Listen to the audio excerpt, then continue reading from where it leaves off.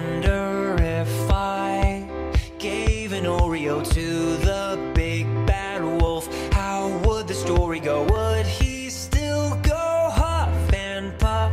Or would he bring those pigs cool stuff today?